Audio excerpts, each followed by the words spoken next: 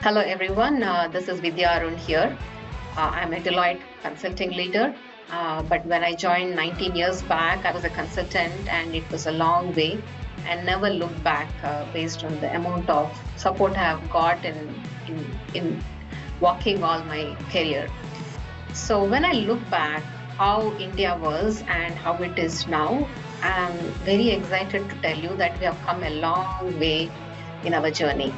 When we started our careers, uh, women's career is not looked as an option. It is just there if they want to pursue along with their responsibilities at home.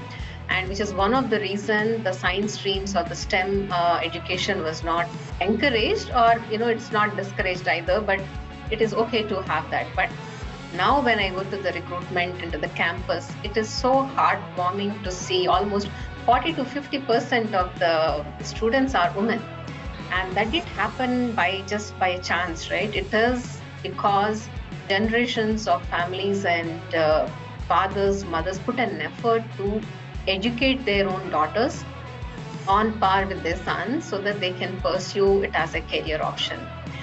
So and i think the events like this which actually bring out the best in the women professionals is absolutely must. And i congratulate all the organizers for organizing this across and i'm happy to be participating in this event uh, and also just to give some context uh, behind this when we started our career, organizations did not understand the importance of diversity, whether it is a gender or otherwise.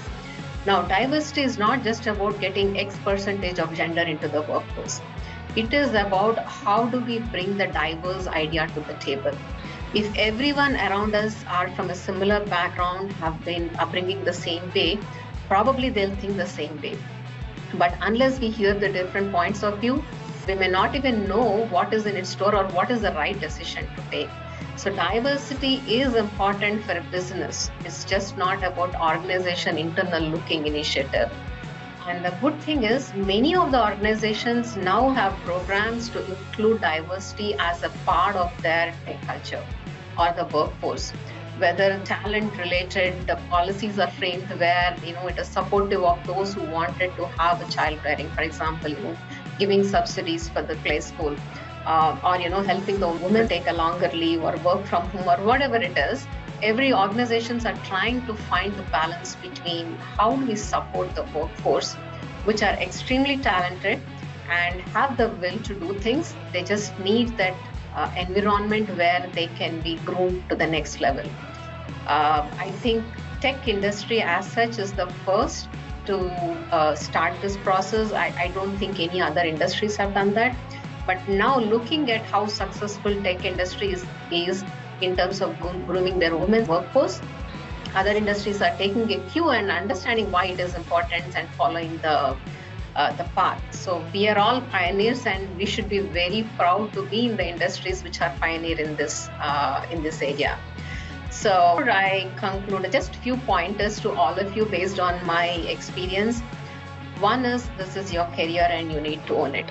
Yes, there will be times where you'll have to decide which is uh, most important at that specific time, which is a work or at home, and you need it to cater to that, and you have to maintain a fine balance. You can never be one-sided ways. Second is you have to set aside time to learn for yourself but this is an industry where things are evolving very fast, and what you know now may not be relevant after five years. Which means every single time you need to spend time for yourself to upgrade your skills, to keep uh, uh, to have a work life or well-being into consideration. It is not just about family. It is just not about the work. It is also about you. You know how you are spending time to grow yourself open to challenges. You know, there will be times where you'll be thrown into something which you're not comfortable, out of your comfort zone, never done that before. But those are the opportunities for you to grow because that is when you'll start realizing what are the hidden talent or skills that you have.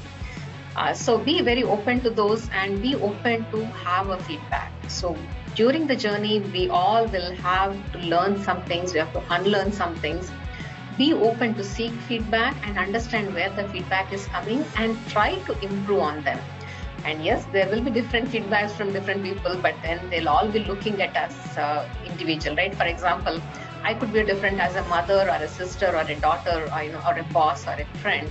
So all of us will be looked by others in a different aspects based on our roles.